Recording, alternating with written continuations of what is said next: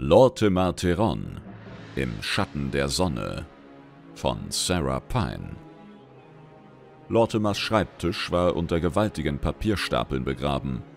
Berichte, Sendschreiben, Befehle und Bestandslisten schwankten unsicher auf Türmen, die zu ordnen er schon vor langer Zeit aufgegeben hatte. Alle betrafen den kurzen, aber umso härter geführten Krieg um Keldanas und den Sonnenbrunnen. Doch für den Moment hatte er all das vergessen. In seiner Hand hielt er einen einzigen, ungeöffneten Brief. Auf dem violetten Siegelwachs prangte ein großes Auge, das Zeichen Dalarans. Es schien ihn anklagend anzustarren und erinnerte ihn an all die anderen Briefe dieser Art, die er erhalten und sofort beiseite gelegt hatte. Er brach das Siegel und nahm das sorgfältig gefaltete Pergament heraus. Lortimer erkannte sofort die ebenmäßige, akkurate Handschrift, welche die Seite zierte. Mehrfach hatte Erzmagier Ethers Sonnenhäscher in letzter Zeit um eine Audienz beim Lordregenten ersucht war von Lortimer jedoch stets geflissentlich ignoriert worden. Seit den Ereignissen auf Keldanas hatte er verzweifelt versucht, den Rest der Welt zu vergessen. Aber ihm wurde klar, dass sie sich ihm eines Tages von ganz allein wieder aufzwingen würde. Lortimer seufzte und lehnte sich auf seinem Stuhl zurück. Dieser Brief war wesentlich kürzer als seine Vorgänger. Dieses Mal hatte Ethas keine Bitte geschickt, sondern einfach nur eine Nachricht mit dem Tag und der Zeit seiner Ankunft. Lortimer strich mit dem Daumen die raue Kante des Pergaments entlang. Er hatte eine recht genaue Vorstellung davon, was Ethers ihm vorschlagen würde, und er war sich seiner Antwort darauf noch nicht sicher. Am Tag der geplanten Ankunft Ethers indes war Lortimer sich seiner Antwort keinen Deut klarer. Als er vom Sonnenzornturm in Richtung der Eingangshalle schritt, wo der Erzmagier erscheinen würde, wurde er von Halduron angehalten, der ihm ein kleines Bündel weicher, purpurner Wolle entgegenhielt. Lortimer nahm es an sich und hielt es hoch, um es zu entfalten. Zum Vorschein kam ein majestätischer goldener Phönix, das Stadtwappen Silbermonds. Mit einem schroffen Nein reichte er das Gewand seinem Freund zurück. Du solltest es anziehen, drängte Halduron. Wozu? antwortete er, während er seinen Weg fortsetzte. Jeder im Dienste Silbermonds darf es tragen. Es ist sein Stadtwappen, rief Halduron ihm hinterher. Du bist das Staatsoberhaupt. Du solltest auch entsprechend aussehen. Ich bin der Lordregent, sprach Lortimer ohne anzuhalten, nicht der König. Darum geht es nicht, Lortimer. Du siehst aus wie ein Weltenwanderer. Lortimer blieb wie angewurzelt stehen. Ich bin ein Weltenwanderer, entgegnete er schärfer als eigentlich beabsichtigt. Du warst einer, seufzte Halduron. Du kannst nie wieder ein Weltenwanderer sein, Lortimer. Darin sind wir uns nun sicher. Lortimer senkte sein Haupt und nahm einen tiefen Atemzug. Wir kommen zu spät, Halduron. Er ging weiter, und nach einem kurzen Moment der Stille hörte er, wie Haldurons Fußschritte ihm folgten. Ramas erwartete ihn bereits in der Halle. Schwer stützte er sich auf seinen Stab und starrte geistesabwesend auf die gegenüberliegende Wand. Als sie eintraten, warf er Lortimer und Halduron einen flüchtigen Blick zu. Ein Ausdruck des Missfallens durchzuckte sein Gesicht doch dann wandte er sich wortlos wieder ab. Es hatte eine Zeit gegeben, in der er Lortimers Entschluss, sich im Aufzug eines Waldläufers zu präsentieren, weitaus heftiger widersprochen hätte als Halduron, aber das war vorbei. Trotz all der Dispute und des ständigen Streits mit Rommers empfand Lortimer inzwischen nur noch Mitleid mit dem Magier. Kelters letzter Verrat hatte dessen treuesten Fürsprecher im Mark erschüttert. Die Luft vor ihnen erglomm in violettem Glanz. Das unmissverständliche Zeichen arkaner Magie. Nur einen Augenblick später wurde die Halle von einem bläulich-weißen Licht erfüllt und Ethas materialisierte sich vor ihnen. Er richtete sich auf, staubte seine Robe ab und Lortimer konnte nicht anders als zu bemerken, wie lächerlich er aussah. Der elegante, tief purpurne Magiestoff der Kirentor biss sich schrecklich mit seinem kupferroten Haar und weigerte sich hartnäckig, seine schlanke Statur gefällig zu umhüllen. Aus seinen Briefen und von den Gerüchten aus dritter Hand hatte Lortimer erfahren, dass Ethers ebenso idealistisch wie gerissen war und bei weitem zu jung für die Position, die er in Dalaran erlangt hatte. Andererseits waren die meisten älteren Magi der Sindurei inzwischen tot. Letztendlich fand Lortimer, dass Ethers Ehrgeiz etwas Gutes hatte. Immerhin einer hatte die Hoffnung noch nicht aufgegeben. Willkommen zu Hause, Erzmagier Sonnenherrscher, begrüßte er ihn. Ethers ließ ein kurzes Lächeln aufblitzen. Hab Dank, Lord Theron, antwortete er mit einer anmutigen Verbeugung. Ich wünschte nur, meine Rückkehr wäre diesmal von Dauer. Selbstverständlich, erwiderte Lortimer diplomatisch. Eure Korrespondenz hat mich mit dem Anliegen eures Besuchs vertraut gemacht. Bitte hier entlang. Meine Berater und ich werden eurem Ersuchen Gehör schenken. Normalerweise hätte Lortimer sie alle in die offizielle Versammlungshalle im Norden des Palastes geleitet, Sie war besonders beeindruckend gestaltet und speziell zu diesem Zweck entworfen worden. Doch es war ein klarer Tag und der Horizont so ungetrübt wie eine frische Gebirgsquelle. Man würde die Insel deutlich am anderen Ufer der Meerenge sehen können. Lortimer wünschte fast, Kelda Nass niemals wiedersehen zu müssen, und so führte er sie in einen Nebenraum östlich des Haupthofes, von dem aus man die schattigen Kuppeldächer Silbermonds überblicken konnte. Sie setzten sich und Aethas ergriff das Wort. Angelegenheiten von größter Tragweite haben mein Kommen erforderlich gemacht. Angelegenheiten, die uns alle betreffen. Euch ist der Grund für die Umsiedlung der Kirentor nach Nordend sicher bereits bekannt. Ja, Malygos, antwortete Lortimer. Was wollt ihr? Aethas schüttelte den Kopf. Der blaue Drachenschwarm ist weitaus mächtiger und bedrohlicher, als wir zuerst angenommen hatten. Ich möchte unsere Beziehungen zu den Kirentor auf offizieller Ebene forcieren. Es ist zwingend erforderlich, dass die Magi von Keltalas und Dalaran wieder Seite an Seite streiten, wie dies schon in der Vergangenheit so lange Jahre der Fall war. Nein. Ethas begann wütend zu werden, und Zornesfalten verfestigten sich um seine Mundwinkel und zwischen seinen Brauen. Doch die Ablehnung war nicht von Lortimer ausgesprochen worden. Zum Rednergewand sprach er, ich habe den Lordregenten gefragt, nicht den Großmagister. Romas stieß ein Lachen aus, dessen Bitterkeit es mehr wie ein Husten klingen ließ. Wohl an, dann lass den Lordregenten mir gnädigerweise das Wort erteilen. Ich denke, wir werden nicht umhin kommen, eurer Meinung Gehör zu schenken, sprach Lortimer, wobei er den ironischen Unterton in seiner Stimme so gut wie möglich zu beherrschen suchte. Sagt, was ihr zu sagen habt, Obgleich der Raum gut beleuchtet war, war das Funkeln in Rommers Augen nicht zu übersehen. Wie großzügig von euch, Lortimer, erwiderte er, ohne dabei auch nur eine Sekunde den Blick von Aethers Gesicht zu nehmen. Seine Stimme klang wie das Zischen einer zusammengerollten Schlange. Tief, böse und gefährlich. Hat Modera euch für eure Abreise instruiert, Ethers? Ihr klingt nicht ganz wie ihr selbst. Eure Worte triefen von ihrer intriganten Diplomatie. Aber zumindest wagt sie es nicht, selbst einen Fuß hierher zu setzen. So viel Verstand besitzt sie gerade noch. Ich schätze, ich sollte auch für die kleinste Gnade dankbar sein. Was diese Angelegenheit betrifft, ist Modera einer Meinung mit mir, antwortete Ether steif, ohne auf Romas Köder anzuspringen. Sie ist also einer Meinung mit euch, erwiderte Rommers nachdenklich. Oder seid nicht viel eher ihr einer Meinung mit ihr?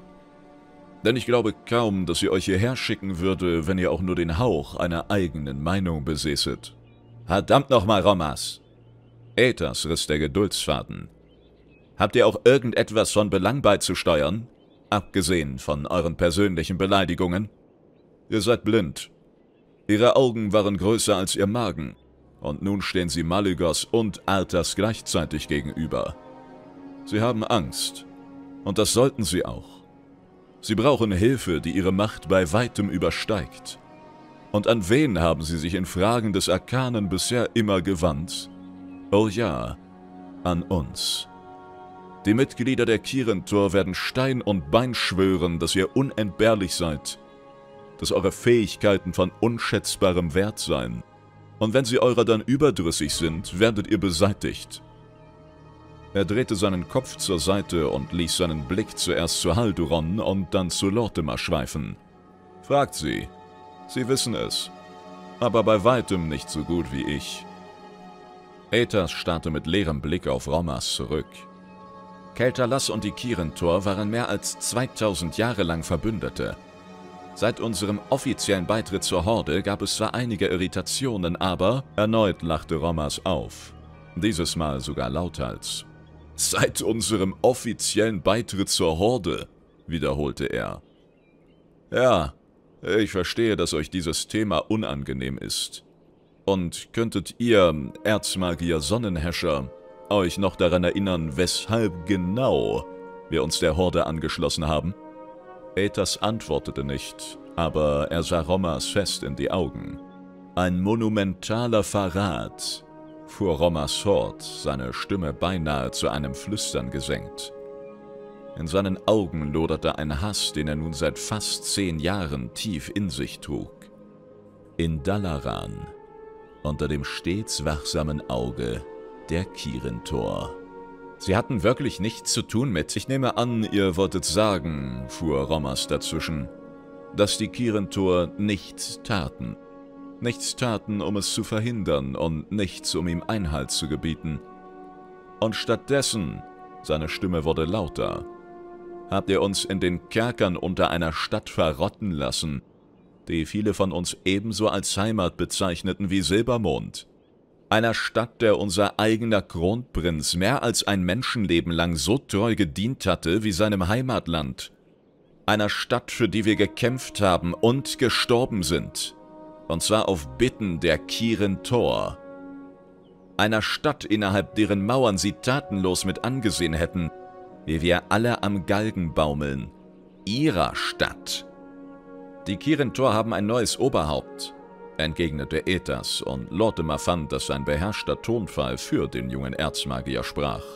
Das ist eine Lüge, und das wisst ihr auch. Ronen mag ihr Repräsentant sein, aber Modera und Ansiram sind noch immer Teil des Rates. Dieselben, die so bereitwillig wegsahen, als Garitos uns zum Tode verurteilte. In der Hölle verrotten sollen sie. Oder noch besser, als Geiße in Arthas Armee, fügte er verächtlich hinzu. Lasst uns hoffen, dass keiner des Rates der Sechs jemals unter Arthas Einfluss gerät, Romas, bemerkte Halduran leise.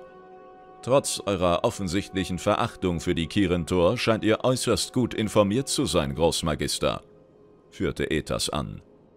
Was einer der Gründe dafür sein dürfte, weshalb ich der Großmagister von Keltalas bin. Und nicht ihr, möchte ich meinen, erwiderte Romas scharfzüngig. Und als Großmagister werde ich meinen Magi niemals befehlen, im Namen der Kirentor zu dienen. Niemals. Lortimers Finger zuckten gegen die glatte Tischplatte und sein Mund verhärtete sich. Ramas hatte sich auf einem schmalen Grat bewegt, den er nun überschritten hatte. Genug, sprach Lortimer mit kalter Stimme. Ein derartiges Ultimatum auszusprechen überschreitet eure Befugnisse. Ob unsere Truppen nach Nordend entsandt werden, obliegt allein meiner Entscheidung. Und sollte ich mich dazu entschließen, habt ihr und eure Magie meinem Befehl Folge zu leisten. Davon abgesehen, fuhr er sich erhebend fort, ist offensichtlich, dass all dies in nichts als kleinlichem Gezänk enden wird. Aber wenn ihr zwei unbedingt so weitermachen wollt, wohl an. Ich werde euch nicht im Wege stehen. Ich allerdings habe nicht vor, noch mehr meiner kostbaren Zeit zu verschwenden. Und ich wage zu behaupten, dem Waldläufer-General geht es ähnlich. Ich muss mich um Angelegenheiten im Süden kümmern, fügte er hinzu. Und ich hatte geplant, morgen aufzubrechen. Ich denke nicht, dass ich diesen Plan verwerfen sollte. Ihr dürft gerne hierbleiben, Erzmagier, aber meine Rückkehr könnte einige Tage dauern. Ethas gab zwar keine Antwort, vermochte aber trotzdem nicht, seinen Ärger zu verbergen. Und Lortimer hatte nicht das geringste dagegen, ihn noch ein wenig in seinem Zorn schmoren zu lassen. Er wandte sich um und wollte gehen. Wir werden nach Dalaran ziehen. Ob ihr nun mitkommt oder nicht, Lord Regent, schallte Ethas Stimme durch den Raum. Lortimer hielt inne und wendete ihm seinen Blick zu, während Ethas weitersprach. Gestattet mir zumindest im Namen der Regentschaft von Silbermond sprechen zu dürfen. Dann werde ich auch dafür sorgen, dass die Interessen der Sindorai gewahrt werden. Rommers schnaubte verächtlich, blieb aber stumm. Für einen Moment bedachte Lortimer Ethers Ersuchen, aber der jüngere Elf befand sich in keiner guten Verhandlungsposition. Ihnen allen war klar, dass Ethers staatsmännische Fähigkeiten denen der anderen Männer im Raum bei weitem unterlegen waren. Ich werde einen Diener anweisen, euch zu euren Gemächern zu führen, erwiderte Lortimer. Ethers hatte sich hinlänglich höflich verabschiedet, nicht jedoch ohne ein, zwei finstere Blicke in Romas Richtung zu werfen. Der Großmagister war energisch aufgetreten, aber Lortimer entgingen keineswegs das leichte Schwanken in seinem Gang und die Zeichen der Erschöpfung, die von seinem Gesicht wieder Besitz ergriffen, nachdem Ethas außer Sichtweite war. Lortimer hatte Rommers Schwäche genau erkannt. Sein Wille konnte gebeugt werden. Einst, vor langer Zeit, hätte Lortimer es als unehrenhaft angesehen, eine solche Schwäche auszunutzen. Jetzt sah er darin pure Notwendigkeit.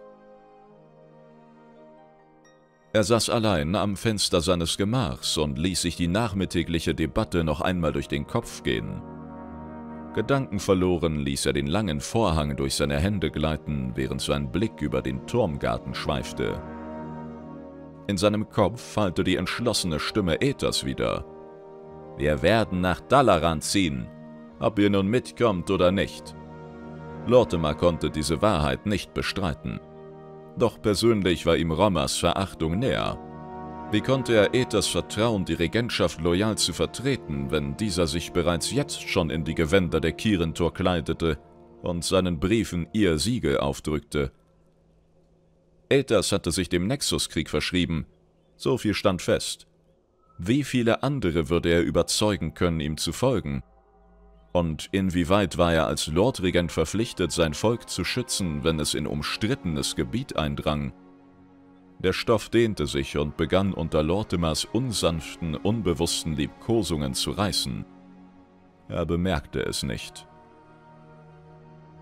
Ich bin mir unsicher, bestand Halduron ihm später am Abend.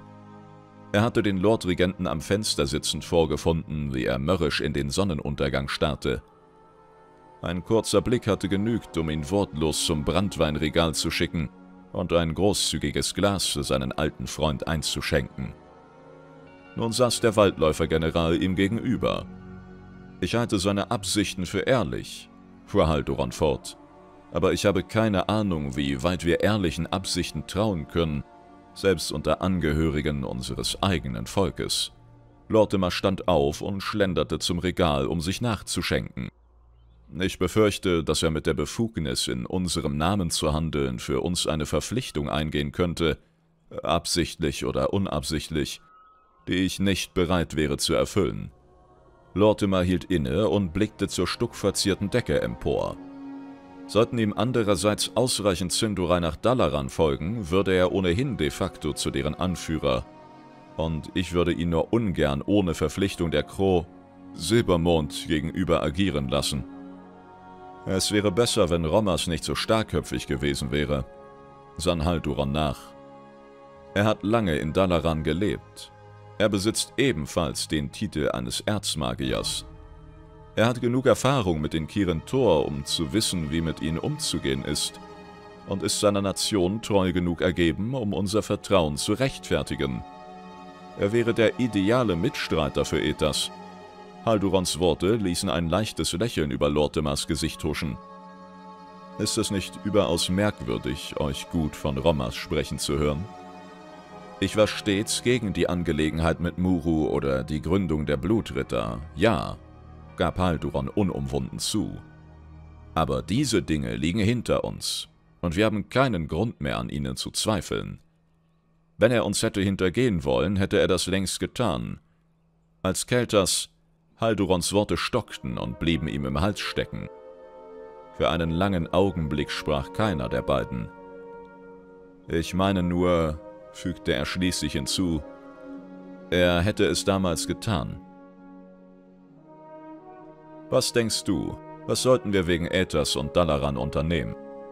Äthers betrachtet sich als Mitglied der Kirentor, erwiderte Halduron. Und mir fallen eine ganze Reihe anderer Personen ein, die sich diesen Mantel nur allzu gern wieder überwerfen würden. Wenn die Kirentor Blutelfen in ihren Reihen zulassen wollen, dann können wir nichts dagegen tun. Nein, können wir nicht, antwortete Lortimer knapp. Dann schwieg er einen Moment lang. Aber mein Bauch sagt mir, wir sollten jegliches offizielle Engagement im Nexuskrieg um jeden Preis vermeiden. Ethas sollte uns regelmäßig Bericht erstatten, und wir sollten ihm eindeutige Grenzen setzen. Wer seine Dienste anbieten möchte, mag dies unter dem Banner der Kirentor tun, aber nicht unter dem von Keltalas. Halduron hob einen Mundwinkel zu einem bitteren Grinsen. Lortimer tat so, als bemerkte er die Traurigkeit in den Augen seines Freundes nicht. Was hast du heute Morgen nochmal über den Weltenwanderer gesagt? Du klingst jeden Tag mehr wie ein König, Lortimer, konstatierte Halduron. Von seinem Platz aus konnte Halduron nicht sehen, wie Lortimers Finger sich fest um sein Glas klammerten. Einige Tage später suchte Lortimer sich auf dem Rücken seines Falkenschreiters einen Weg durch die östlichen Pestländer. Der Blick auf die Landschaft jagte ihm kalte Schauer über den Rücken. Er war ein Elf und zudem Waldläufer, ein Kind der offenen Wälder, des klaren Wassers und goldener Blätter. Der Anblick des zerfurchten, kalkigen Bodens und der verkrüppelten Bäume Ostlorderons schnürte ihm das Herz zusammen und ließ ihn fast würgen. Dieses Schicksal wäre auch Keltalas widerfahren, wäre da nicht die unablässige Wachsamkeit seines Volkes gewesen. Lortemar warf einen Blick über die Schulter Drei Ehrengardisten der Weltenwanderer folgten ihm. Halduron und Romas hatten darauf bestanden. Eigentlich, hatte Halduron gesagt, solltest du überhaupt nicht losziehen. Ich war sicher, du würdest dieses alberne Vorhaben aufgeben, als Ethas seinen Besuch ankündigte. Aber da mir klar ist, dass keines meiner Worte dich davon abhalten kann, wirst du zumindest eine Eskorte mitnehmen. Keine Widerrede. Ramas wollte ihm sogar einige seiner Blutritter mitschicken, aber das stand völlig außer Frage. Sie wären nicht willkommen, hatte Lortimer deutlich gemacht. Und ich werde das auch nicht sein, fügte er leise hinzu. Glücklicherweise hatte Romas nicht darauf beharrt. Endlich kam der Felsgrat in Sicht, den er gesucht hatte. Auf den ersten Blick schien es sich nur um eine weitere spitze Erhebung auf einer flachen Felsoberfläche zu handeln, aber er wusste es besser. Es gab keinen Grund zur Vorsicht. Speer hatten sie wahrscheinlich bereits vor geraumer Zeit entdeckt. Wie erwartet traten auf halber Strecke des sich windenden Pfades plötzlich zwei Gestalten hinter den Felsen hervor. Ihre Klingen kreuzten sich, als sie den Weg versperrten, und das metallische Klirren hallte schallend in der gespenstischen Stille der Pestländer wieder. Wer macht der Jagdhütte Kelly Thean seine Aufwartung? ergriff einer der beiden das Wort. Lortimer schaute unbeeindruckt auf ihn herab. Seid kein Narr. Ihr wisst, wer ich bin. Der andere sah ihm direkt in die Augen. Das heißt jedoch nicht, dass ihr willkommen seid, Lord Theron. Lortimer zog die beiden Schwerter, die er auf dem Rücken trug, aus der Scheide, und er beobachtete, wie einer der beiden unmerklich mit den Fingern zuckte, bereit, jeden Moment den unzähligen anderen das Zeichen zum Angriff zu geben, die sich zweifellos in der Umgebung versteckt hielten. Schweigend warf der Lordregent seine Schwerter zu Boden, löste Bogen und Köcher und ließ diese ebenfalls auf die Erde fallen. Mit einer Handbewegung bedeutete er seiner Eskorte, es ihm gleich zu tun. Und als dies geschehen war, hob er eine Augenbraue. Reicht das, um euch von meinen ehrlichen Absichten zu überzeugen? Der erste Speer ergriff erneut das Wort. Sagt uns, was euch herführt, Ich habe Neuigkeiten für Waldläufer Lord Falkenspeer und Hohepriesterin Himmelsrufer, antwortete er. Hinsichtlich... Er räusperte sich. Hinsichtlich Prinz Keltas. Die Wachen überlegten kurz, wobei sie sich einen flüchtigen Blick zuwarfen, doch die meiste Zeit waren ihre Augen streng auf Lortimer gerichtet. Augen, die noch blau und unverdorben waren, wie Lortimer nicht umhinkam zu bemerken. Dann endlich deutete eine der Wachen mit dem Kopf in Richtung des Grates. Also gut, sagte der Soldat. Soll der Waldläuferlord entscheiden, was mit euch zu tun ist. Folgt mir. Der andere schnippte mit den Fingern und, wie Lortimer geahnt hatte, sprang ein halbes Dutzend weiterer Speer aus Mulden und Felsspalten hervor, um die Waffen aufzusammeln, die er und seine Wachen in den Staub hatten fallen lassen. Schweigend folgte Lortimer ihnen. Am Ende des Pfades erhob sich vor ihnen, zwischen Felsbrocken und vertrockneten Sträuchern, die Jagdhütte Callithien. Ihre edle Holzfassade war ausgeblichen und zerfressen, und die Weltenwanderer hatten ihre Streben mit altem Laub getarnt.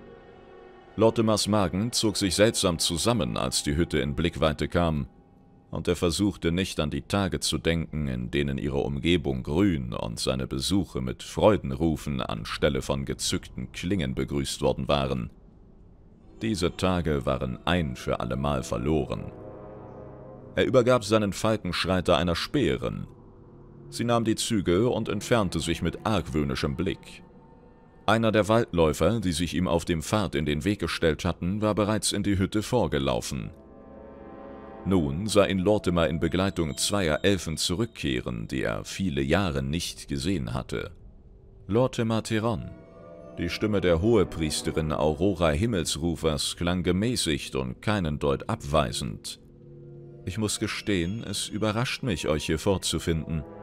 Ihr habt Nerven, bemerkte Renter Falkenspeer in bitterem Ton. Hier aufzutauchen, ich hätte euch von einem Dutzend Bogenschützen mit Pfeilen spicken lassen sollen. Die Worte trafen ihn, wenngleich er sie erwartet hatte. Er schloss sein gesundes Auge, um es langsam wieder zu öffnen. Ich habe Neuigkeiten, sprach er einfach, die ihr erfahren solltet. Hättet ihr nicht einen Brief schreiben können? lautete Rentas höhnische Antwort. Hättet ihr ihn gelesen? entgegnete Lortimer, und das leichte Zucken um Auroras Lippen und die zunehmende Finsternis, die Rentas Miene umfing, verrieten ihm, was er bereits wusste. Sie hätten es nicht getan. Ich habe den weiten Weg nicht wegen Belanglosigkeiten auf mich genommen, sagte er schließlich. Werdet ihr zumindest anhören, was ich zu sagen habe? Renta und Aurora betrachteten ihn wortlos, machten kehrt und gingen zurück in die Hütte. Lortimer folgte ihnen, wobei er sich der hochelfischen Augen, die jeden seiner Schritte beobachteten, schmerzhaft bewusst war. Die Außenposten der Weltenwanderer in den östlichen Königreichen waren nie besonders prächtig gewesen, doch Calithians Schlichtheit war ernüchternd. Etliche Wände waren mit tiefen Kerben irgendeiner Klingenwaffe versehen, und die dunklen, in die Bodenbretter eingetretenen Flecken waren mit Sicherheit Blut. Dessen ungeachtet war den Elfen der Zustand der Hütte keinesfalls gleichgültig. Die Vorhänge waren zwar abgenutzt, aber sorgsam mit gleichmäßigen Stichen genäht worden. Die alte, an die Wand genagelte Karte Lorderons war übersät mit unzähligen Notizen, alle jedoch in eleganter Handschrift und ohne auch nur einen einzigen Tintenfleck auf dem vergilbten Pergament hinterlassen zu haben. Ein eigenartiger Schmerz stieg in Lortimer herauf, als er seinen Blick über all diese Dinge schweifen ließ, als hätte er gerade den Brief einer vergessenen Geliebten wiederentdeckt. Einst hatte er das Leben eines Weltenwanderers geführt, in Tagen, die ihm nun so fern schienen, dass sie ihm wie ein Traum vorkamen. Hier, sagte Renta, während er mit dem Daumen in Richtung eines kleinen Zimmers zeigte und die Tür energisch aufstieß. Schließt sie hinter euch befahl er Lortimer, ohne zurückzusehen. Lortimer nahm Aurora gegenüber Platz. Renta wischte diverse Fetzen blutverkrusteter Lederrüstung von dem schmalen Tisch in der Mitte des Raums und ließ sich neben ihr nieder. Lortimer musste sich ein leichtes Grinsen verkneifen, so wie die beiden ihn wie Richter eines Tribunals mit ihren Blicken durchbohrten. Ihr meintet, ihr hättet etwas zu sagen, durchschnitt Renters Stimme die Stille. Also sprecht. Vor mehreren Wochen kehrten die Truppen des Sonnenzorns zu uns zurück.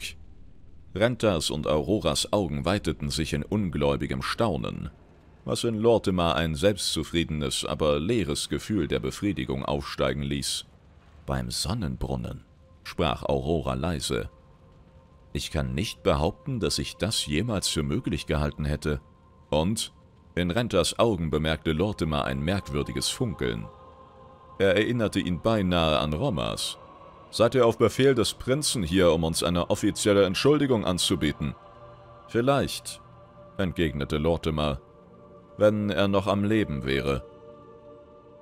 Hatte einer der beiden Hochelfen vor ihm bisher schockiert ausgesehen, dann war dies nichts im Vergleich zu dem Ausdruck, der sich jetzt auf ihren Gesichtern niederschlug.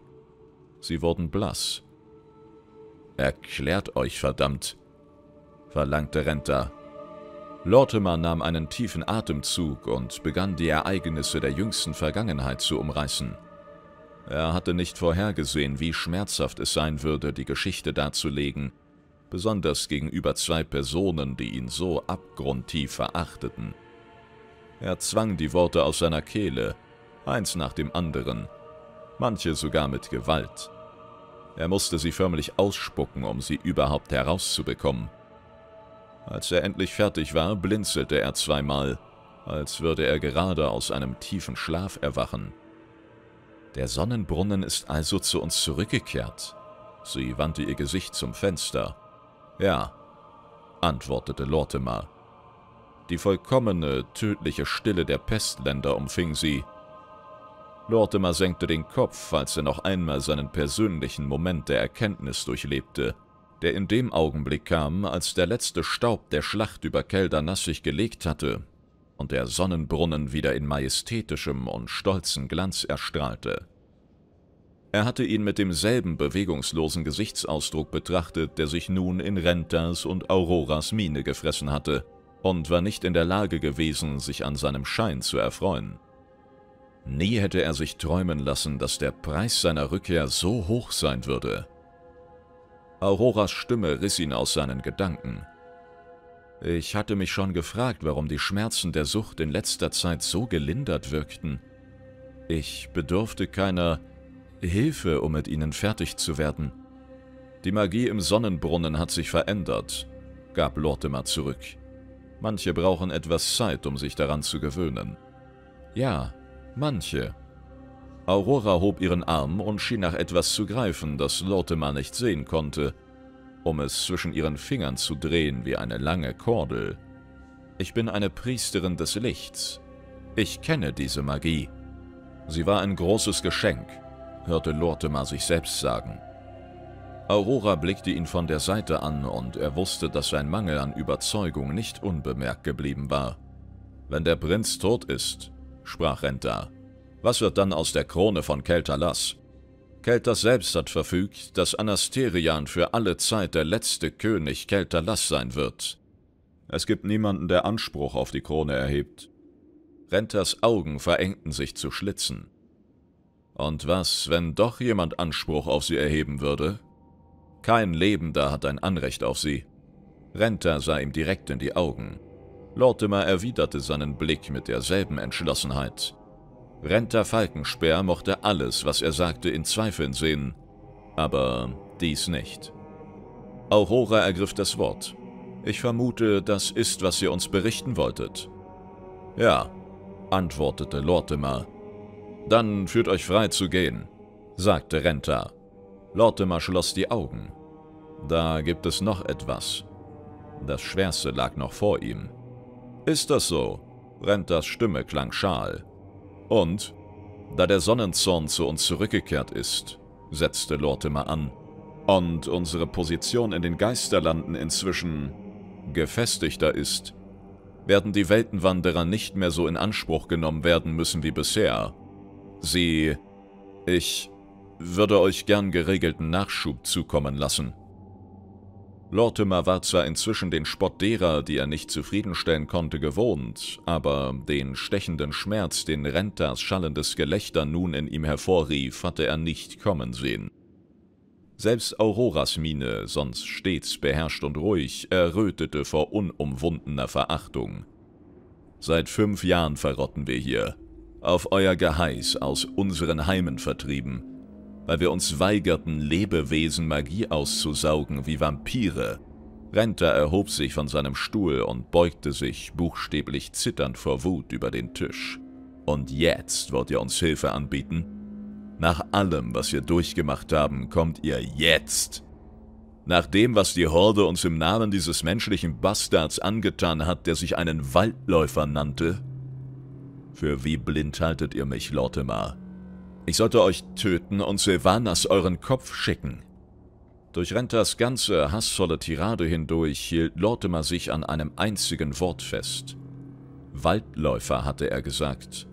Und zwar nicht irgendeiner, sondern menschlicher. Soweit Lortimer wusste, hatte es davon bisher nur einen gegeben.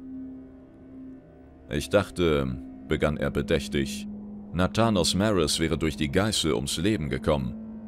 Sowohl Aurora als auch Renta wandten sich langsam um, um ihn anzusehen. Ihre Mienen kalt wie Masken aus Elfenbein. Zum ersten Mal, seit er zu dieser Konfrontation angetreten war, hörte Lortimer sein Herz in den Ohren hämmern, und der Knoten in seiner Kehle ließ ihn kaum schlucken. Aurora war die Erste, die widersprach. Das ist er auch sagte sie. Da war noch irgendetwas anderes, das wie ein Schatten in den Winkeln des Raumes lauerte. Und er würde herausfinden, was es war, bevor er sie verließ. Er wurde nicht selbst zur Geißel, fuhr sie fort.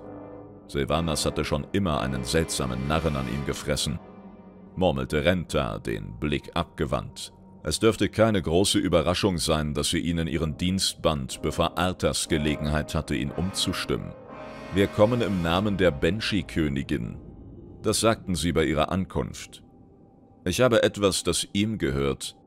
Renta wandte sich wieder Lortimer zu. Wir bewahren eine Kopie der Akte auf, die Einzelheiten zu Maris Aufnahme bei den Weltenwanderern enthielt. Sie nahmen sie mit Gewalt an sich und erschlugen jeden meiner Waldläufer, den sie finden konnten. Die Horde, Lortimer, und Verlassene, Silvanas Volk, eure Verbündeten. Lortimer war nicht in der Lage zu sprechen. Er hatte Angst, seine Stimme würde zittern. Einst hätte ich auf Befehl des Waldläufergenerals ohne zu zögern mein Leben gegeben. Rentas Stimme war von unerträglicher Bitterkeit erfüllt. Wir sind nicht mehr ihr Volk. Genauso wenig wie das eure. Renta, hob Lortimer an, Trotz all unserer Differenzen wisst ihr, dass ich niemals... Ihr habt uns hierher geschickt, um uns loszuwerden. Und habt dann die Stirn schockiert zu tun, wenn wir leiden? Es gibt keine Flüche, die übel genug wären, um euch zu beschreiben, Lortimer. Ich weiß, wessen Soldaten in Tristessa stehen, Lord Regent. Ich frage mich, wie viele eurer eigenen Sindorai-Waldläufer sie direkt unter eurer Nase ermordet haben. Paktiert mit dem Teufel, wie es euch beliebt.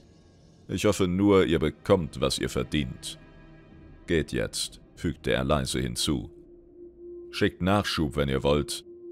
Ich werde euch die Herzen seiner Träger zurückschicken, gewickelt in ihre eigenen Wappenröcke. Lortimer stand auf und machte sich daran zu gehen. Sie hatten ihn unvorbereitet erwischt und die Wände um ihn versprachen keinen festen Schutz mehr. Er sah Aurora aufstehen und mit herausfordernd hochgestecktem Kinn auf ihn herabblicken.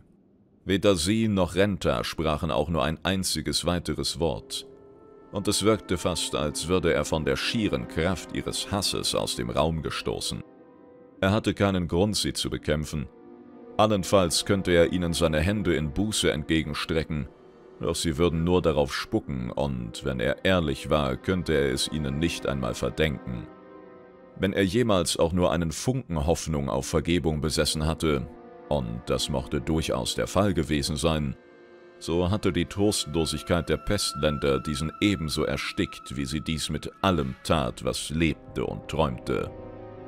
Diese Brücken waren schon vor langer Zeit in Flammen aufgegangen, die er mit seiner eigenen Hand gelegt hatte. Seine drei Leibwächter saßen wartend im Empfangszimmer, umringt von Keldurai-Waldläufern mit aufgelegten Pfeilen. Er ging forschen Schrittes hinaus. Seine Waldläufer folgten ihm schweigend. Auf dem Hof hielt ein Speer die Züge ihrer Falkenschreiter und ein weiterer ihre Waffen.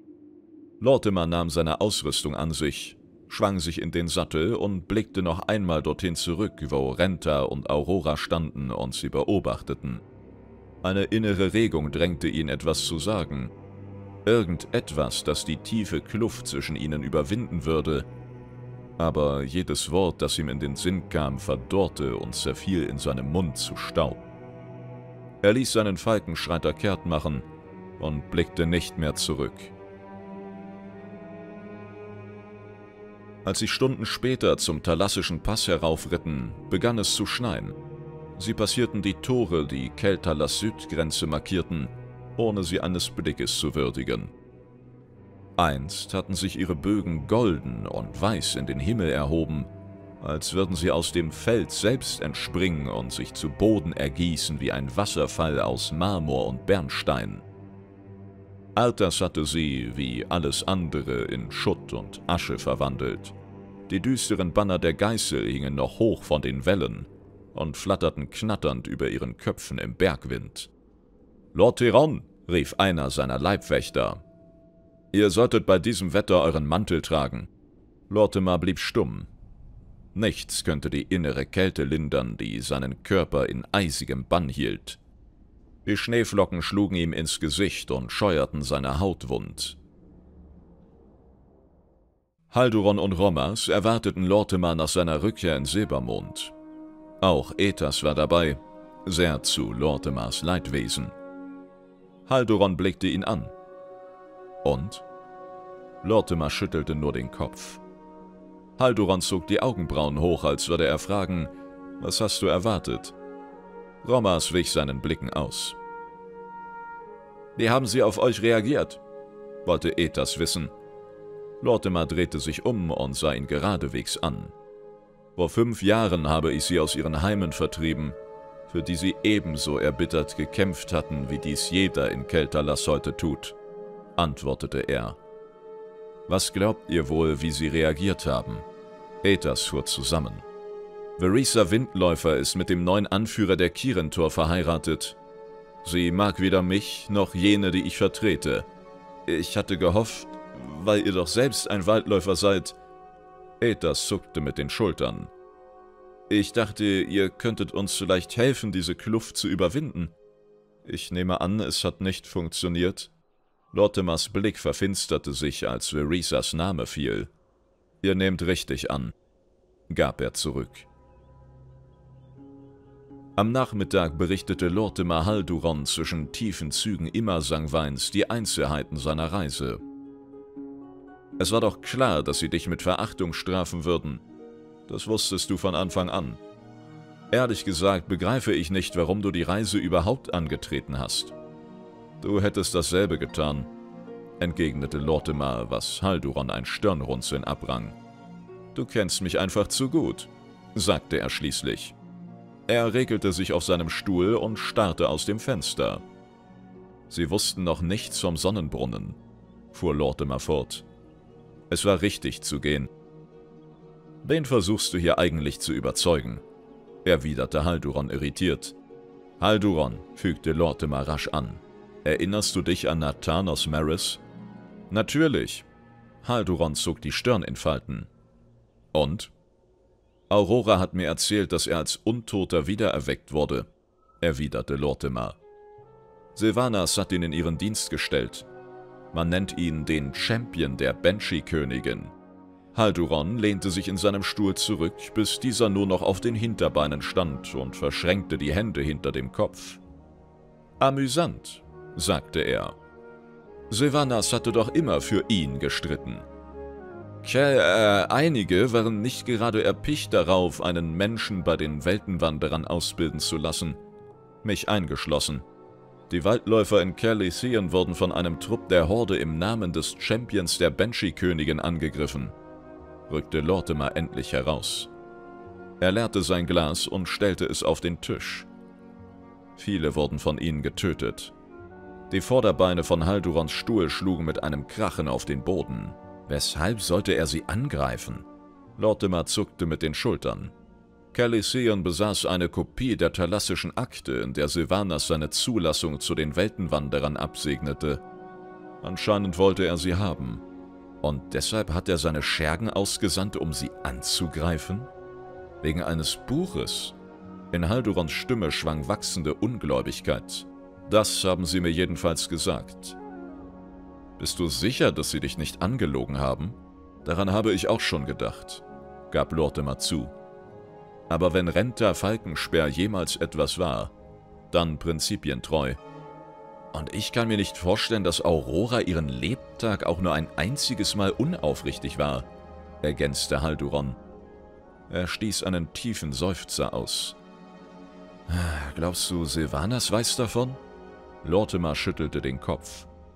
Keine Ahnung. Glaubst du, es würde sie kümmern, wenn sie davon wüsste? Das war die Frage, die Lortimer die ganze Zeit gefürchtet hatte. Das weiß ich genauso wenig.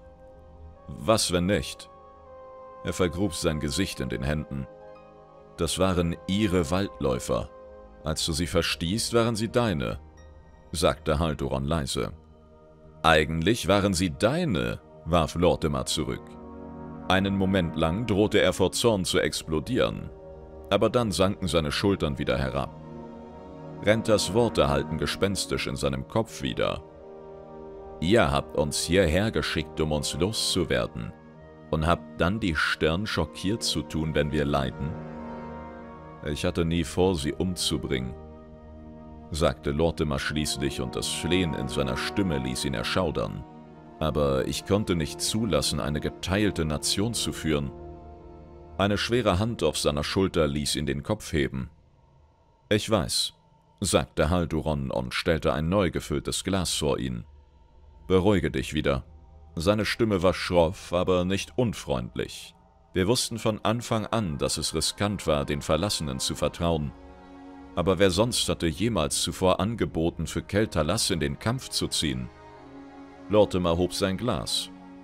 Die Nachmittagssonne schien hindurch und färbte den Inhalt rostrot wie den Boden der Pestländer. Lortimers Finger hämmerten unermüdlich auf die Schreibtischplatte ein, während er teilnahmslos seine Notizen aus den diversen Unterredungen mit Ethas durchging.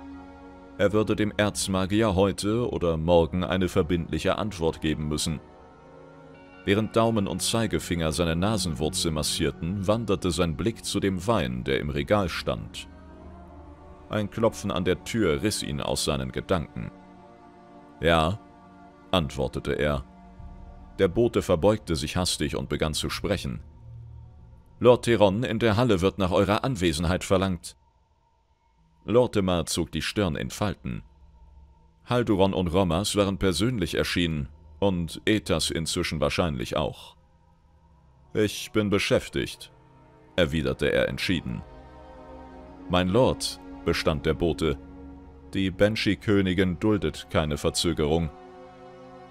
Lortimer spürte deutlich, wie ihm das Herz in die Hose rutschte. Er erhob sich. Nein, erwiderte er leise. Selbstverständlich tut sie das nicht. Führt mich zu ihr. Der Bote machte auf dem Absatz kehrt, jedoch nicht ohne seinem Lordregenten einen besorgten Blick zuzuwerfen. Lortimer wappnete sich geistig für die bevorstehende Begegnung, während er ihm folgte. In all den Jahren, die er Keltalas nun bereits regierte, hatte er es immer fast als körperlichen Akt empfunden, sich den Mantel der Autorität überzustreifen. Er konnte die Veränderung bis in seine Fingerspitzen fühlen wenn er Silvanas gegenübertrat, würde er alle Entschlossenheit benötigen, die er aufbringen konnte. Halduron und Romas schlossen sich ihm schweigend an. Das Gesicht des Waldläufergenerals war hart, Romas war etwas gelöster. Ihm war bewusst, was sie erwartete, aber seine Furcht war von distanzierter und unpersönlicher Natur, im Gegensatz zu Lortemars und Haldurons. Für sie war Silvanas Schicksal eine Wunde, die bei jeder Begegnung erneut aufgerissen wurde, und ihr Schmerz war noch nicht abgeklungen. In der Halle, in der Silvanas sie erwartete, schien das Licht verblasst zu sein. Es wurde weder gedämpft noch getrübt.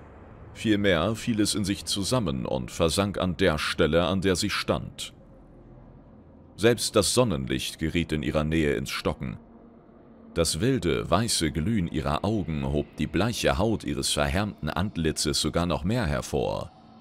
Ihre königlichen Schreckenswachen flankierten sie, geschwärzte Klingen in den skelettierten Händen. Das Einzige, was Lortimer vernahm, als er die Halle betrat, war der Widerhall seiner eigenen Schritte. Und selbst dieser schien in Gegenwart der Banshee-Königin unnatürlich rasch zu verstummen. »Was führt euch nach Silbermond, Silvanas?« fragte er. »Ich komme gerade aus Orgrimmar«, erwiderte sie. Als ihr Mund sich bewegte, konnte Lortimer das Fleisch darunter reißen und abplatzen sehen, wie eine lang abgelegte Schlangenhaut. Alters hat es gewagt, einen Streich gegen das Herz der Horde zu führen. Lortimers Mund wurde trocken, und eine Welle des Unbehagens stieg in seiner Brust empor. Silvanas hielt einen Moment lang inne, um in seinem Gesicht nach einer Reaktion zu suchen. Er biss die Zähne zusammen, blieb aber stumm. Der Angriff wurde zurückgeschlagen, fuhr sie fort. Aber Arthas spielt nur mit uns. Wir müssen den Krieg zu ihm tragen. Kriegshäuptling Thrall hat endlich erkannt, was wir schon lange wussten. Ihre Augen sprühten vor gefährlichem Verlangen. Die Horde bereitet sich auf einen Krieg vor. Und die Sindurai Lortimer sind ein Teil der Horde. Ihre Worte trafen ihn wie ein Felsschlag. Er wusste, wonach sie ersuchte, und es war ihm immer klar gewesen, dass dieser Tag irgendwann kommen würde. Und dennoch war er in diesem Moment, da er inmitten der Halle stand und plötzlich gewahr wurde, wie deren schiere Größe ihn verschlang, nicht in der Lage, eine Antwort zu geben. Lortimer, wir werden Arthas vernichten. Ein für allemal. Bedächtig schüttelte Lortimer den Kopf. Ich weiß es zu würdigen, dass ihr und der Kriegshäuptling uns einladet, gemeinsam mit euch an vorderster Front in Nordend zu stehen. Aber auf unseren Schultern lastet bereits zu viel. Gerade erst erhielt ich eine ähnliche Bitte der Kirentor. Seit den Geschehnissen auf Keldanas. Dies ist keine Bitte, Lortimer. Ihre Augen funkelten rot vor Zorn. Ihr werdet Truppen aussenden. Sie werden die Verlassenen begleiten. Silvanas, entgegnete Lortimer mit ruhiger Stimme. Wir haben gerade erst einen Bürgerkrieg hinter uns. Was sollten wir euch geben können? Habt ihr etwa schon vergessen, wer der Hauptverantwortliche für den Zustand von Keltalas ist? Sie durchforschte sein Gesicht nach einer Antwort, fuhr aber fort, als sie ausblieb. Nun, ich immerhin nicht. Niemand wird mir meine Rache vorenthalten. Die Sindurai-Waldläufer und auch die Blutritter. Wir können sie nicht entbehren, Silvanas. Ihre schartigen Lippen verzogen sich zu einem höhnischen Grinsen. Dann versteckt euch hier wie ein geprügelter Hund, wenn dies tatsächlich euer Begehr ist, Lortimer. Doch wenn ihr glaubt, dadurch etwas zu gewinnen, seid ihr ein Narr. Denkt ihr, Arthas wird euch einfach ignorieren, während ihr hier wartet und eure Wunden leckt? Denkt ihr, ich werde solche Feigheit tolerieren? Ich warne euch, Wer nicht für die Verlassenen ist, ist gegen sie. Und wer gegen die Verlassenen ist, wird sich dieser zweifelhaften Ehre nicht lange erfreuen können. Mein Volk steht nun schon geraume Zeit Wache in diesen Landen, und euer Platz in der Horde steht und fällt mit meinem Wort. Ihr werdet uns in Nordend unterstützen, oder ich werde euch meine Unterstützung in Keltalas entziehen.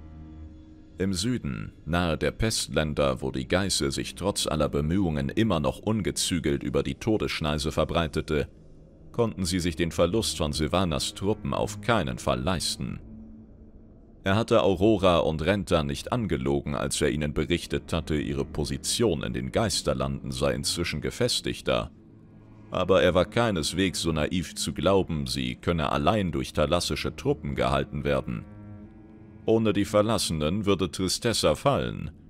Und was käme dann? Zum zweiten Mal seit seiner Rückkehr aus Calithien hörte er in Gedanken Falkensperrs Worte. Wir sind nicht mehr ihr Volk. Wenn Lortimer sich gegenüber ehrlich war, konnte er nicht abstreiten, dass er dies schon die ganze Zeit gewusst hatte. Schickt man erschöpftes Volk in den sicheren Tod nach Nordend oder riskiert Keltalas erneut dann die Geißel zu verlieren? Von fern drang sein Gelächter an seine Ohren, und es klang mehr wie das von Romas. Hier gibt es keine Wahl, Silvanas. Die Banshee-Königin beäugte ihn emotionslos. Ich erwarte eure Truppen in zwei Wochen in Unterstadt, Lortimer, entgegnete sie. Ich dulde in dieser Angelegenheit keine Enttäuschung. Gewiss, meine Fürstin. Sie wandte sich zum Gehen. Wie könnt ihr das nur tun?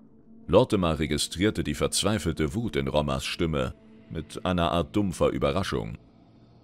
Irgendwie schien der Großmagister immer noch zu glauben, man könnte Silvanas zum Verhandeln zwingen.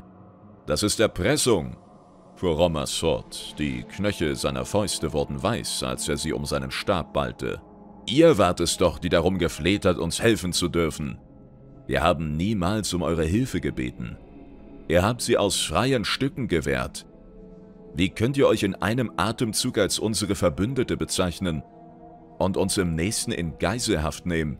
Silvanas betrachtete ihn einen Moment lang schweigend, wobei sie es irgendwie schaffte, auf ihn herabzublicken, obwohl er eigentlich größer war als sie.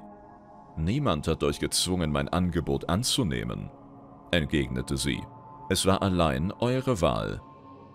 Alles, was ich verlange, sind der Wille und die Stärke, unseren größten Feind zu besiegen. In Rommers Augen stand der blanke Hass. Doch Lortimer ergriff das Wort, bevor er etwas erwidern konnte. Gibt es sonst noch etwas, worüber ihr gerne diskutieren würdet, Silvanas? Seine Stimme klang in seinen Ohren unterwürfig, jeden Willens und jeglicher Leidenschaft beraubt. Diskutieren, verhöhnte ihn eine leise Stimme, als wenn man mit der Banshee-Königin diskutieren könnte. Nein, ich bin hier fertig, Lortimer. Chorel Aran, Silvanas, sagte er. Ihre Augen blitzten auf, als sie den thalassischen Abschiedsgruß vernahm, aber sie verlor keine weiteren Worte. Lortimer sah ihr teilnahmslos nach. Er tat es nur, weil es sonst nichts zu sehen gab. Er fühlte sich so zerbrechlich wie ein gefrorener Grashalm. Als Lortimer sich umwandte, bemerkte er zu seinem Missfallen, dass Ethas irgendwann im Laufe der Unterredung erschienen war – es ärgerte ihn, dass der Erzmagier Zeuge seiner Demütigung geworden war. Er besaß aber kaum noch die Kraft, um sich mit Fragen des Stolzes zu befassen.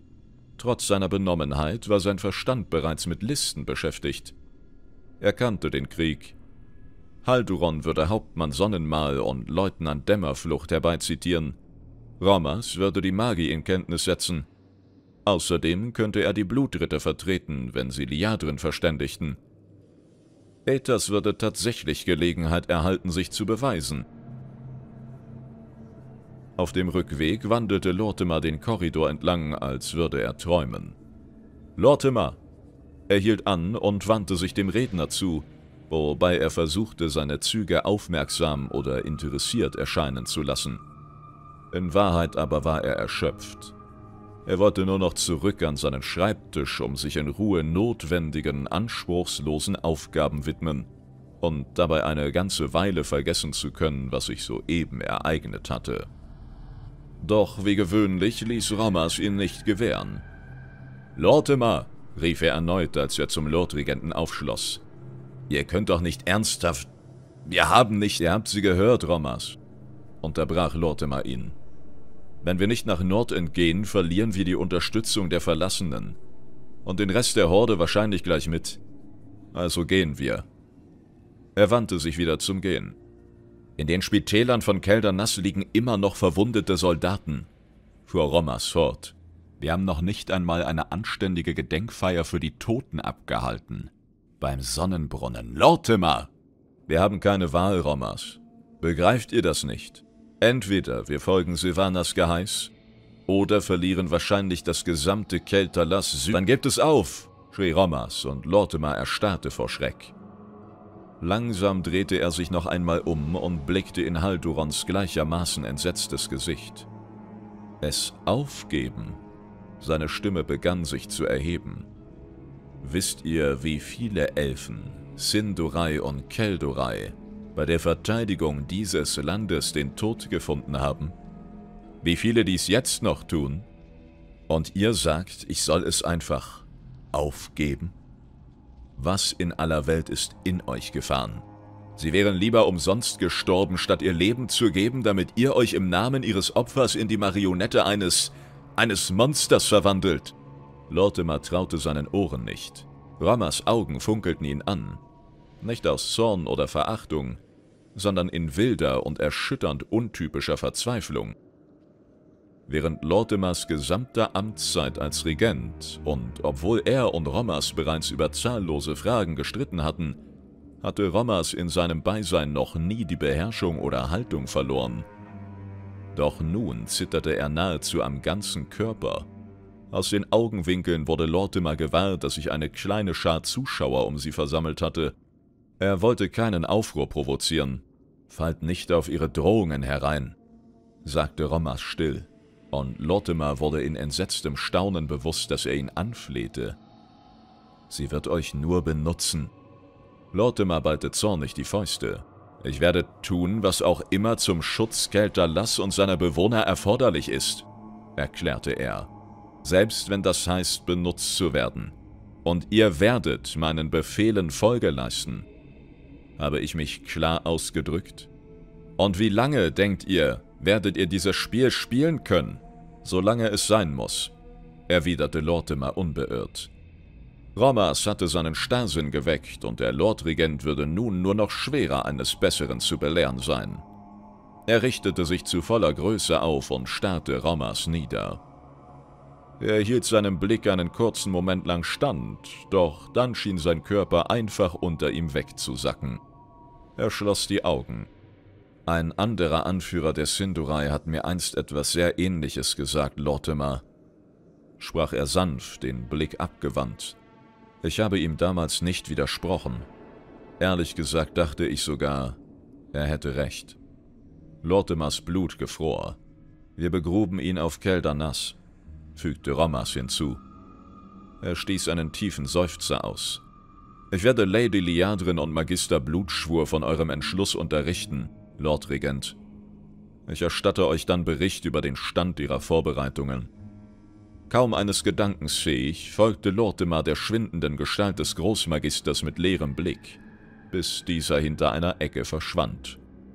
Lortimer, Haldurons sanfte Stimme erweckte ihn aus seinem Dämmerzustand. Er wandte sich zu seinem Freund um, doch der Waldläufergeneral betrachtete ihn befremdend.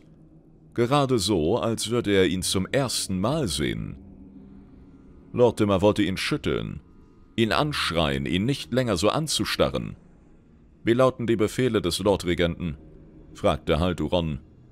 Seine Förmlichkeit war niederschmetternd.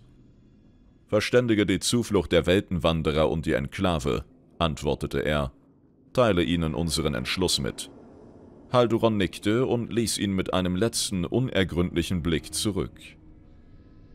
Lortimer sah sich um, ein einziges böses Funkeln der Augen ließ die Diener und Palastwachen zu ihren Pflichten zurückeilen. Die einzige Person, die im Korridor zurückblieb, war Ethers Sonnenherrscher, der sich schlicht weigerte, ignoriert zu werden. Wenn ihr nach Nord entgeht, werdet ihr dann auch die Kiren, die Kiren-Tor können tun und lassen, was sie wollen. Es interessiert mich nicht, fuhr Lortimer ihn an. Aber da schon bald eine beträchtliche Anzahl an Sindurai-Truppen gen Nordend aufbrechen wird, dürften viele von ihnen in absehbarer Zeit auf eurer Türschwelle stehen. Ihr werdet sie nach besten Kräften unterstützen, Ethas. Nun geht und sucht Romas. Ich bin sicher, dass er gute Verwendung für euch haben wird. Lottemers Verachtung brach endlich offen hervor. Ich denke, ihr solltet euch freuen, Erzmagier. Ethas schüttelte den Kopf. Ihr habt recht, es war mein Wunsch, eure Unterstützung in Nordend zu gewinnen, Lord Regent, aber nicht zu diesem Preis. Bitte glaubt mir, wenn ich sage, dass ich sie euch lieber hätte aus freiem Willen gewähren sehen, als wegen mein freier Wille ist unversehrt. Unterbrach ihn Lortimer erneut. Ethers spitze Worte hatten ihn zutiefst getroffen. Und es ist nach wie vor mein Wille, der Kelterlass regiert. Gewiss, mein Lord, erwiderte Ethers mit einer leichten, beschwichtigenden Verbeugung. Doch als er seinen Kopf wieder hob, konnte Lortimer sehen, dass die Entschuldigung nicht bis zu seinen Augen gelangt war. Kochend vor Wut machte Lortimer auf dem Absatz kehrt und ließ ihn allein zwischen den bleiernen rot-goldenen Bannern stehen. Tagebuch des Lordregenten, 83. Eintrag. Ich kann mich nicht erinnern, wann ich zuletzt jemandem eine solch offene Lüge ins Gesicht gesagt habe. Nicht einmal seitdem ich in die Politik gezwungen wurde. Aber ich habe Ethers angelogen, und er weiß es. Und ich weiß es. Und jeder, der sie mich hat aussprechen hören, weiß es auch. Mein Wille ist in Wahrheit von äußerst geringer Bedeutung. Ich kann so tun, als verfügte ich über tatsächliche Macht. Aber letztendlich ist alles nur Schauspielerei. Und nichts davon hat mit Ehrlichkeit zu tun. Ich kann meine Hände in Unschuld waschen, den Märtyrer spielen, zum Opfer gemacht werden und damit nichts erreichen. Oder ich kann kämpfen und selbst andere zu Opfern machen und so zum Wesen all dessen werden, wogegen ich gestritten habe. Würde ich meine Entscheidungen jemals anhand einer anderen Logik zu begründen suchen, würde ich mich nur selbst belügen. Falkensperr hatte recht. Ich paktiere in der Tat mit dem Teufel. Aber der Sonnenbrunnen wäre nie neu errichtet worden, wenn wir uns nicht auf diese Ebene herabbegeben hätten. Er und Aurora können ruhig schlafen, in der Gewissheit, dass sie ihre Moralvorstellungen niemals verletzt haben. Aber wenn sie bestreiten, im Schatten derer, die dies getan haben, zu gedeihen, dann betrügen sie sich in gleichem Maße wie ich. Und hier finde ich mich nun also wieder. Nur noch einen kleinen Schritt davon entfernt zu glauben, dass jeder Zweck die Mitte heiligt. Doch die Ruinen der Terrasse der Magister werden mich für alle Zeiten verfolgen und mich an das Schicksal erinnern, das ich mit dieser Haltung herausfordere. Dies ist der schmale Grat, auf dem ich wandere. Wissen, dass die Taten, die ich aus der Not heraus begehe, gleichwohl unentschuldbar sind. Diese Tatsachen sind zwar niemals miteinander in Einklang zu bringen, aber von Zeit zu Zeit kann ich sie nebeneinander stellen und beinahe verstehen. Gut möglich, dass ich diese Offenbarung als tiefgründig betrachten würde, wenn ich ignorant genug wäre, nicht zu begreifen, dass ich gerade erst am Anfang der Lektionen stehe, die Kelters und vor ihm Anasterian auch gelernt haben. Uns bleibt nichts, als den Weg, der uns bestimmt ist, so würdevoll wie möglich zu beschreiten. Jeder zu seinem eigenen Ruhm oder Untergang und zu beten, dass wir uns letzten Endes noch ein Stück unserer Seele bewahren. Beim Sonnenbrunnen. Ich hoffe, dass ich ein Stück meiner Seele bewahren kann.